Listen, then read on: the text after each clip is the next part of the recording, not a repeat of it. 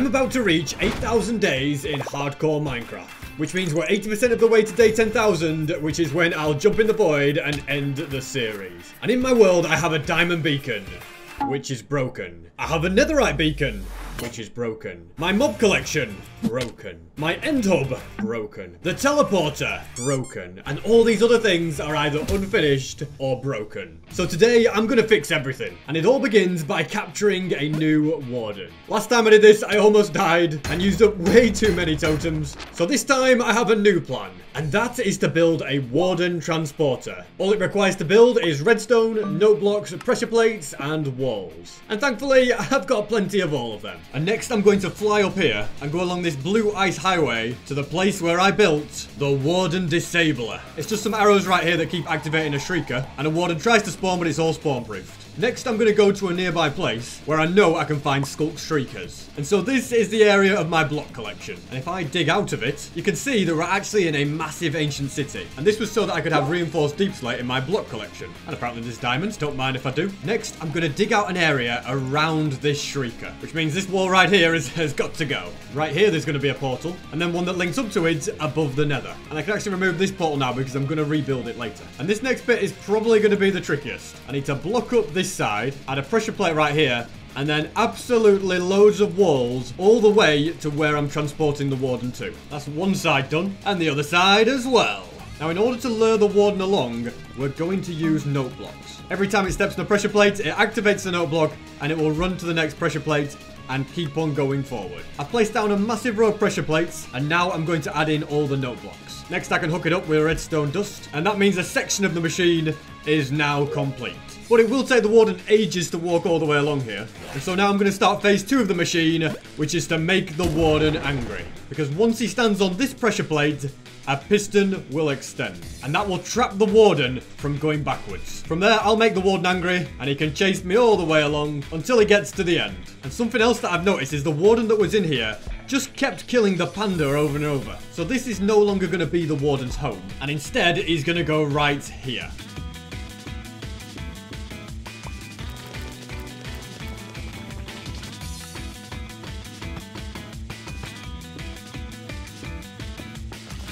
And it is now complete. If you ask me, it looks quite sinister and quite spooky. And tell you guys about the brand new poster I'm releasing for 8,000 days. Here it is. It looks pretty epic. It shows me getting bedrock, controlling lightning, doing a netherite farm, building factories, and I've signed every single one of them by hand.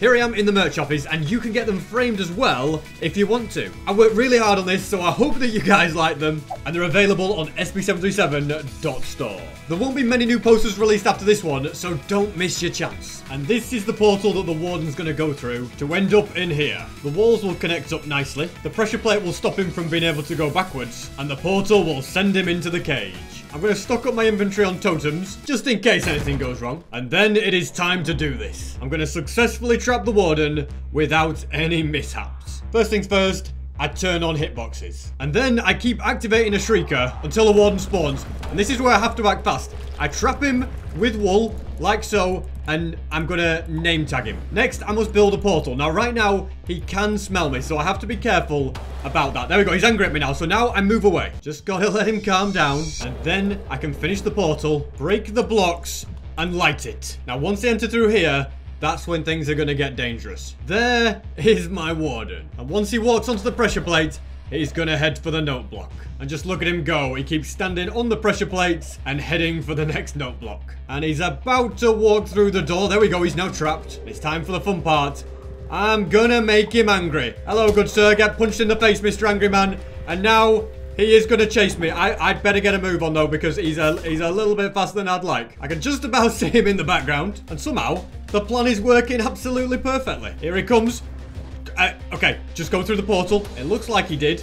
The door worked. All I know is I must not go through that. That would be a disaster. And in theory, when I head down here, we should have a warden. And then I can break this portal and add in the glass. And that is the first of the quests off the list. So next I can repair all of my items. And now I'm going to move on to the next project, which is to trap a camel and trap a sniffer. Now these are both going to go exactly where the warden was. The camel can be right here. And then the sniffer right next to it. And for the camel, I'm thinking of a combination of cyan wool, sandstone, and lime wool. And then red and green for the sniffer, because that kind of matches what the egg looks like. Thankfully for both of these mobs, I don't really need to travel far because I've got a bunch of sniffers right here and I can probably breed an extra one like so and then take one of the adults to its new home. In you go. We can put this on the front. And now to go and see my friends the camels. Because once again, I have a massive home for them. This is a camel sanctuary. It's a bit grander than what I gave the sniffers. This guy is loving life up there apparently. He just keeps twirling around. What's going on? But yeah, there's so many camels in here. So I'll just take this one over here. I will have to break down the door slightly to get him out. And he is also into his new home. That's it. You rest your aching legs. I've no idea where I'm going to add the armadillo and the breeze mob when they get added, but we'll worry about that later. I also got this sniffer egg from Hatchling before, so I might as well get it placed down there. And I need to repair this door that I broke. I can patch this up with a bit of glowstone, with quartz slabs up here. And then this also needs fixing. And the pixel art on the floor can also be sorted. That's the drowned looking like normal again. This wither face also needs sorting. And finally, a few of them over here need to be fixed. And there we go. Another room is repaired. I'll now focus my efforts on sorting this area down here out, which means going out in search of an Elder Guardian. A monument has been found up ahead, so before I get closer and get mining fatigue, I'm going to make sure I have every needed item to get the Guardian in the nether. In fact, let's grab some milk as well, because we're on a mushroom island, so there's going to be mushrooms around here. Mushrooms that will give me infinite milk. And now the plan is simple. I dig down, build a portal, and keep drinking milk to get rid of the fatigue. Then I simply remove all of the water by placing cobblestone. Could have used sponge, but okay, well, we've got mining fatigue again. Yeah, I could have used sponge, but I, I, didn't really need to, did I? Next, in theory, yep, I can light it, and before I leave, I, well, I get sent through, I will leave. And I do need this guy to enter, but I probably have to get the portal ready on the other side first, which means breaking this one and going above the nether to build another one. One of these minecarts should, in theory, pick him up. And if that all goes to plan, I should be able to transport him home. But I should probably just focus on trying to get him in the portal first. All right, okay, never mind. That was um, that was surprisingly very easy, barely an inconvenience. And now I can head through, and, and he's in a minecart. Okay, that was also very easy. The track is going to be built in this direction and then go that way. At this point, I feel like a bit of an expert at transporting guardians. And before I can transfer him across, I need to repair the wither cage and also the Elder Guardian's home. Which shouldn't be too tricky, but I do just need to grab a few different materials. And one of those materials is glowstone, something I've, I've, completely run out of. Shouldn't be too much of a problem though, because it's something that I can easily trade for at the Void Trader. And now I can quickly make the needed repairs, which does also include putting the iron golem back that died, which is what caused the Wither to be able to escape. And this time I'm going to be extra safe and have two of them. In case one dies, I've got another one ready and waiting. And for the rest of this, it's just a case of placing a load of blocks to fix everything.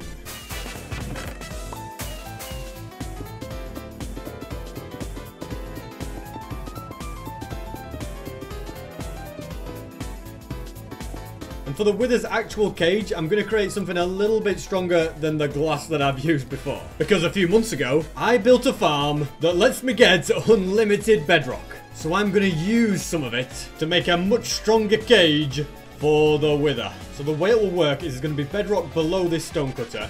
And then there's going to be bedrock on each side as well. This will stop the wither from being able to move to the side. And it won't be able to blow this bedrock up. And then it's the exact same thing up here. The stone cutter and the grindstone will just hold it in place so that it'll shoot the iron golems on the other side. But even if it breaks them through an explosion, it won't be able to escape and cause all the destruction that it did last time. So let's begin by summoning this guy in. Then I need to add water above it and I need to get out of here before the explosion occurs, you'll see it shouldn't break anything because of the water. There we go. And the skulls are trying to attack the wardens, but they are just getting flung up by the water. Then I must just carefully remove the water, put back the glass, and we've done it. And as you can see from the Wither's hitbox, it physically cannot get out of this column because it cannot move up and down or break the bedrock, which is why it's permanently trapped and won't be able to cause the same destruction as before. And now to do the needed repairs on the Elder Guardian's home, which thankfully is quite a bit easier. Next, I'm going to build a little portal right here, which in theory is where the Elder Guardian's going to come through. If, if everything goes to plan, that is. I'm also going to plant down a bit more kelp around. And the real question is, does this portal connect up to it? Yep, indeed it does. I'll also get busy repairing all of these walls that got ruined. Look at this, loads and loads of destruction, but it, it can all be easily fixed. And with that activator rail right here, I think I'm now ready to send this guy off And away he goes. He just got the mining fatigue in at the last second. Of course he did. Well, yeah, the minecart track is pretty standard and, and pretty simple. He goes over the little bridge, round the bend, and once he gets to the activator rail, He's ejected and gone through. And if everything has gone to plan, we've got an Elder Guardian. So, so close to being in the water. Come on, get in there. I'll even push it in. Oh, are you in the minecart still? There we go. Oh, I just sent him back. No! I know I couldn't get through an entire video without there being at least one mishap. But now I have an Elder Guardian in the nether to deal with. Managed to contain him into this space. He's in the minecart. He's going down there. He's gone in the portal. This time I'm going to break said portal. And he's in. And down here is now fully complete. I just need to get a brand new brown panda for this slot, which I can get from down here. And my collection of every single mob in Minecraft is now fully fixed and complete. And now for the next of my projects. I need to fix my netherite beacon. It's missing a grand total of 45 blocks, which is roughly 23 stacks of ancient debris. But don't worry, because a few episodes ago, I built a netherite farm. And this farm allows me to find and collect ancient debris at super fast speeds. And I've already ransacked the majority of it. However, if I go 3,000 blocks in this direction, you'll see that there's still plenty more ancient debris to be collected. Will I be able to get the 23 stacks that I need? I I'm not sure. But it has revealed a serious amount of them, so I'm remaining optimistic. And that is stack number one, which means there's just 23 to go. And I've also realised it's probably quite a bit faster if I use scaffolding to get up to the ancient debris because then I can be placing it as I'm climbing. When I'm done, I can just swoop on down, break the bottom, and do it all over again. And with that, I've reached stack number two, as well as the third one, the fourth, the fifth, the sixth, the seventh, eighth, ninth, and tenth. Which means we're halfway there. Look at this, that's 15 stacks obtained. And now 20. We're starting to get very, very close. At this point, I've now reached 25 stacks, which is more than I need. And okay, well, don't get hit by uh, lava recipe. But yeah, whilst it is more than I need, I am now at the end of the tunnel. So I might as well just keep going till the very end and see what I finish up with. And the issue with walking into lava is you do end up having to eat quite a lot of food. And that is that. All this ancient debris has been obtained, and now I can make the long flight back home and set all of this ancient debris off smelting. And whilst I wait, the other thing I'm going to need to go with it is a lot of gold. And gold it's something I have a little bit of. Do I have enough? I need 23 stacks. Yeah, no, no, nowhere near. So I'll place this shulker box here and feed the hoppers into it so that it fills up. Then I'll drop down this hole to set this chunk loader off. A chunk loader which was apparently broken because it was connecting to this portal. Let's, uh, let's try that again. Nah, there's too many portals in my world. It, it's definitely broken. We'll just have to leave it. And instead, I'll fly to the gold farm. Let that get me loads of ingots. And I can be busy crafting as all of the gold funnels in. And once I turn all of these to ingots, I'll have enough. Still a little bit of time left on all of this to be fully smelted, but whilst I wait, I can be making the ingots, which is such a satisfying thing to do. Next, I can make all the blocks, so I'm just too short, but there's still more netherite scrap coming through, don't worry. That's every single block. And now for the satisfying part where I can place them all down and once again have a full netherite beacon. Although this does make the diamond one look very sad, we should probably fix that too. And fix it I shall. Thanks to all the different diamond farms I have, it shouldn't be too tricky. So I'll make some preparations and then get ready to start that project. This is the Infinibore that I built. As you can see, it's a massive machine. It's very, very powerful.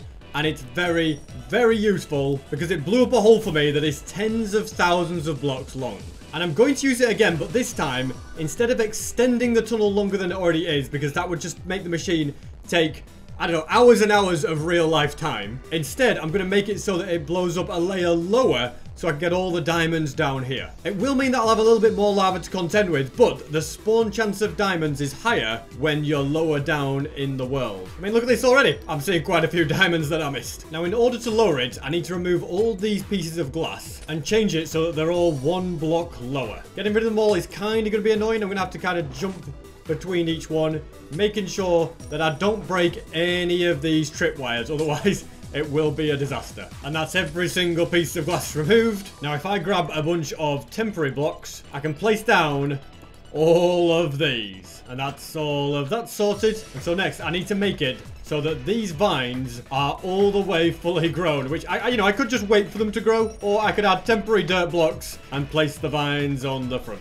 The hardest part is done because that is all of the dirt placed down, which means now I only need to place all of the vines. And I found a pretty nice way of doing it because every time I go down, I just do a little vine clutch and I'm taking no fall damage. It look okay, I took some there. But generally speaking, it looks pretty elegant. And with that all done, I now just need to remove all of the dirt. And now, the modified version of my Infinibore is ready. Before activating it, I will just nip home to drop off all of these items and to repair my Elytra. And with that, there's nothing more I can do. Let's land right here, put 10 nuggets into this dropper and fly to this platform. And in the meantime, the Infinibore will be working.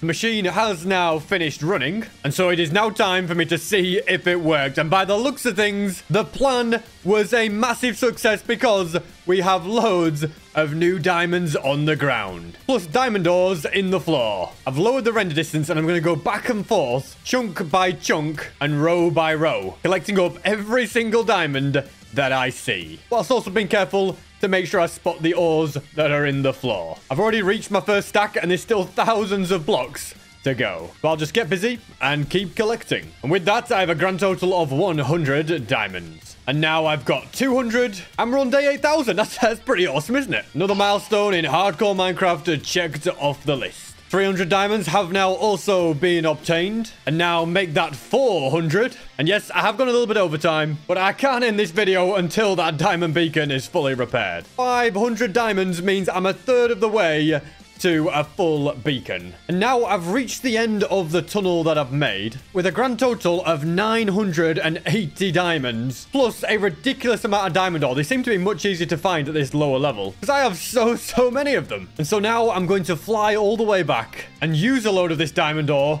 to repair this pathway. Will I have enough? I don't know. But I am optimistic and we will soon find out. Perfect. I've successfully replenished all of it. And doesn't it look great? I'm so glad it's fixed. And then I can grab a load of buttons and spawn-proof the entire pathway. And there we go. That should be more than enough. And now for the moment of truth. How many diamond blocks have we got? And will we end up having enough? This point, I'm going to have to mine up all the diamond ores. And that gets me another 31 blocks, which is still not quite enough. But don't worry, because I do happen to have another massive diamond farm. So I'll go ahead and start using it. Just watch all the TNT blow up, and then I'll see how many diamonds I can get.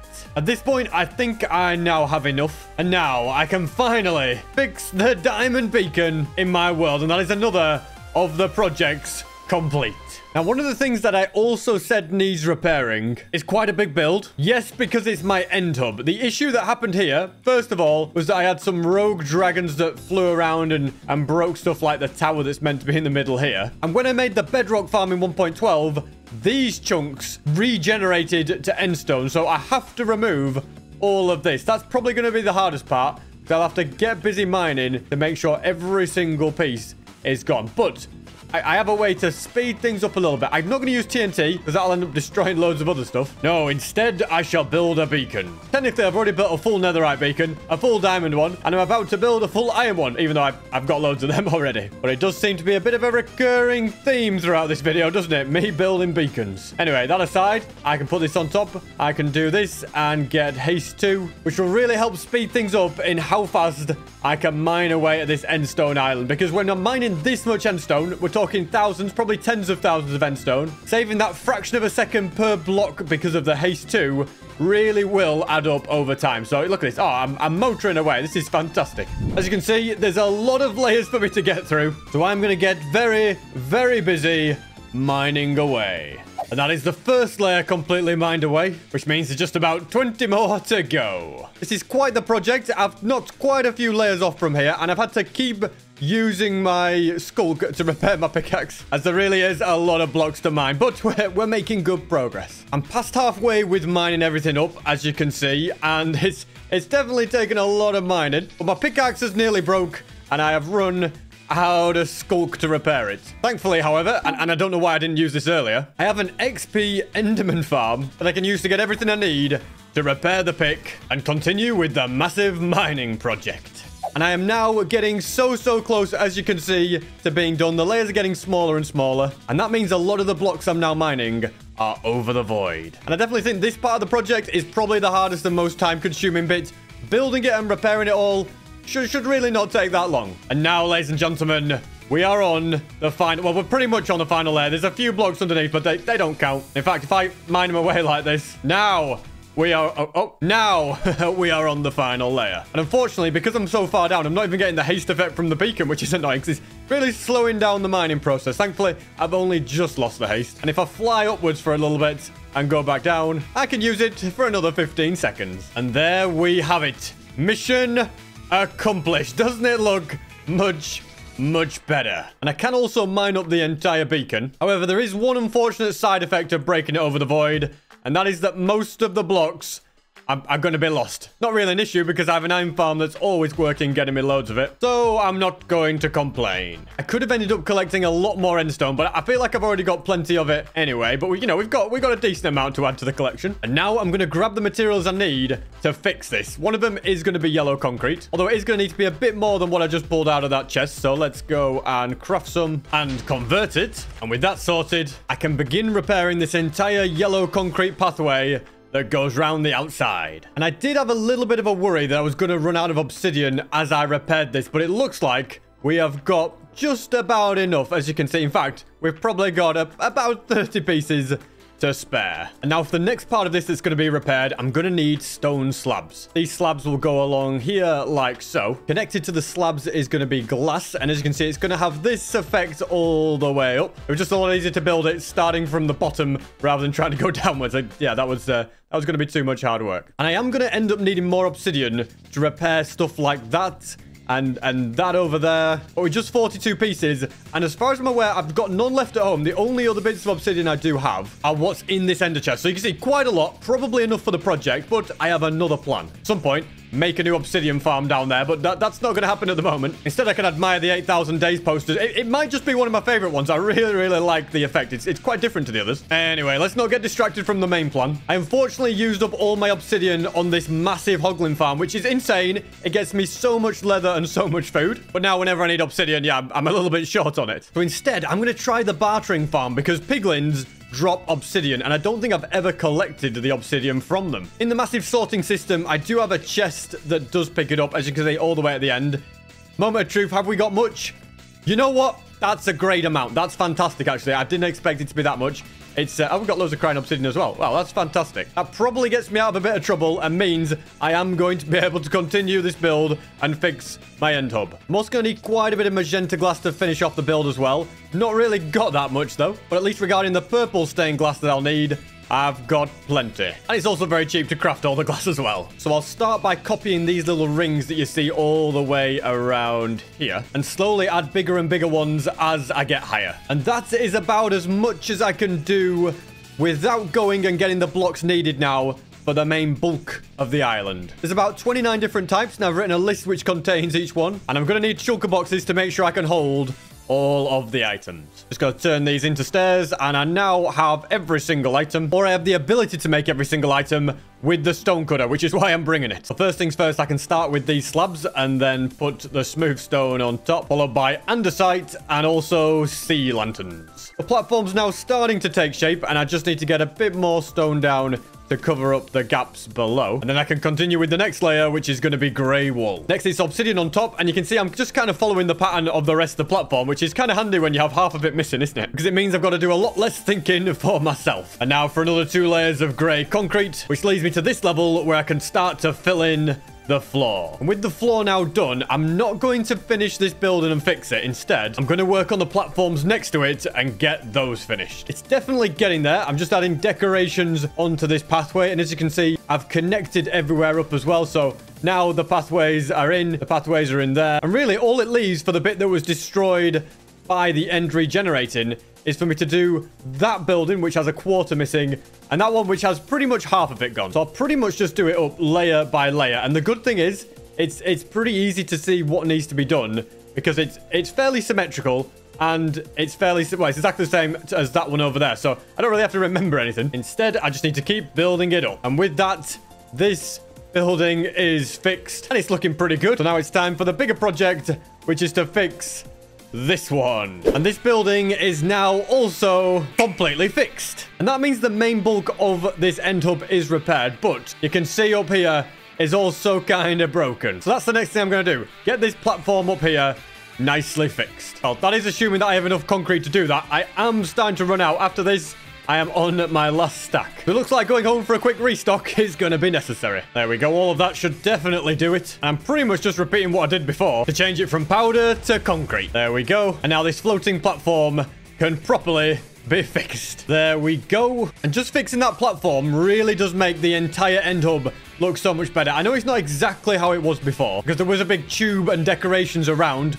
But for me, this end hub is in a pretty good position where it looks like it's fixed. You know, when you're walking around it, it doesn't look anywhere near as broken as it used to, which is kind of my goal. Yes, there are little bits here and there, which I, I do need to repair, and I do need to actually build these cages, which I've, I've never actually done. I still don't know what to put inside them. But the reason I'm not going to do all of it in this episode is because I want to add some extra farms into the end, into this hub. Like, there's going to be some, some farms here, and I want to add them and then build around them and fix it. If I if I fix it all and then have to break it to add the farm, and that's just counterproductive. So that's my thinking behind only fixing some of the stuff. Plus, I'm way past 8,000 days. I don't want to spend too long on the end hub. And there are still one or two other things that I'd like to fix in this episode before it's over. And I'd say the main one is this melon and pumpkin farm because it, it used to work really well. Yeah, right now, it, it is just a bit broken. So let's sort it out. I think placing a chest here, yeah, will send everything back to the beginning, which is a good start. It's going to break loads of melons, but I haven't got anything here to pick them up, so that needs solving. And the way I'll do that is by coming here to grab iron. How much iron have we got, by the way? I should turn some of it into blocks, shouldn't I? Oh, this entire thing is just full.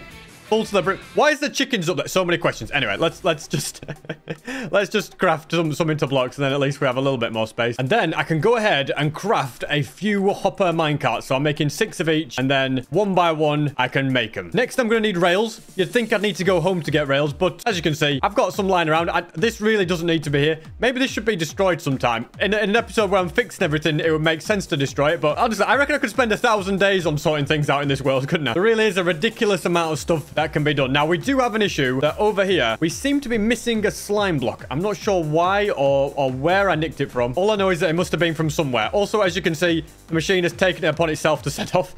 so, I am going to take this opportunity to place down the hopper mine minecarts by doing this, picking it back out, and it's just rinse and repeat with all six of them until they're all placed. And then I just need to see if I can steal a slime block from anywhere. Is there any unused machines to, to that I could take one from. At first glance, it doesn't seem like it, but this machine has broken, so I could just steal the slime block from there and then go home and get another one, if it makes sense. So it, it doesn't really... it was kind of a waste of time. The only reason I've done it this way is because then I can have that on and I can place this iron bar here and it should pick it up, all being well. Look at that. And then when they get to the hopper minecarts, they should pull them along. And there we go. This bit is now fixed. Fantastic. And I'm going to flick this down so that it stays fixed as well. And now for the next part. To head all the way back home and grab that one singular slime block that I need. And that can be added to here. And if I just work my way across... Okay, did I not turn off this machine? How are you moving by yourself again? I'm sure I flicked the lever that stops that. I did, but it must be able to do one more iteration. Let's flick this lever down ahead of time, so then that's not an issue. And then back to what I was doing, making this move. There we go, we did it. But it's also missing the hopper minecart, so if I'm really quick, I might be able to fly all the way over here. And I mean really, really quick, actually. Look at the speed that it's coming. But yeah, I'm going to craft them all, which I've just about managed to do. And then we go rail, hopper minecart, break it, and repeat that a load of times. I actually think there's, there's a slight chance that I might just pull it off, or I might, uh, well, maybe not quite. I, I, don't think for all of them anyway. But four out of six isn't bad. Is it just put these in the hopper? Thankfully not. And next time the machine sets off, it will pick up these ones as well. So that will be fixed. Although I'll tell you what won't be fixed. All of the farmland that needs tilling and then seeds added into it. This section actually isn't too bad for it, but this part is terrible. It's just this edge along here that needs tilling and then the seeds planting. And then this pumpkin and melon farm is as good as new. And it's technically actually a bone meal farm because these hoppers have composters underneath that will be creating bone meal and they flow through here and into the tree farm. So yeah, all in all, I'd say it's a pretty good system. It's just this one on the end that is the actual pumpkin farm. As you can see, there's pumpkins galore along there. And then they go into these two chests. I'll also get this bamboo farm fixed and running again. I think I can do that just by maybe breaking this. Nope, that didn't work. What about by breaking this? Okay, neither. I thought a block update might get it moving, but apparently not. Instead, I'm going to have to actually mine things up and move them across like that. I believe that should fix it now. Yep, there you go. You can see it's moving again. It's taking out all of the bamboo. It's loading it into this chest down here, which as you can see is, is pretty full, but I have got shulker boxes, which I can fill up so that I have a bit more space in the chest. Same thing with the sugarcane farm. Let's also fix that and set it off. And you know what? I think I'm pretty happy with what I've achieved in this video. Is my world completely perfect? Everything fixed and, and, and made as beautiful as it could be? No, not quite, but I'd need a lot more time to do that. And, and I will do another video where I fix even more stuff and make things look better. Also, I should probably, in a video where I, it was all about fixing stuff and making it look nice, I shouldn't be leaving off with a destroyed nether hub. I reckon I'll just get rid of all this. The portal can stay. I don't really mind that being, in fact, we, we should disable it though, uh, just in case. I don't want anything going through or trying to connect and going near the ward and, you know, all that stuff. So We'll just break it. And yeah, there's other stuff that I could have fixed, like the teleporter. My aquarium needs finishing still. But say, I, I just don't really have time. We spent way too long getting the beacons, getting all the bosses caught. Like, we did so much in one episode, really, didn't we? When you consider that last time it took me 500 days to build my end hub, I think it's understandable that within 100 days, I wasn't able to completely fix it in time. So I'll get the repairs down in here that need to be done. It's just literally those couple of slabs here. And then I need to go into my ender chest, grab my flint and steel, light that up, and the nether hub is fixed as well. Well, we fixed another thing. We may have broken it, but we also fixed it. And thank you so much for watching. Make sure to go and check out the posters at sb737.store. I've signed them all. And if you'd like to see a video where I built a farm to get all of these infinite notch apples, then click the video that is on screen right now. And I'll start preparing the next project for the next video.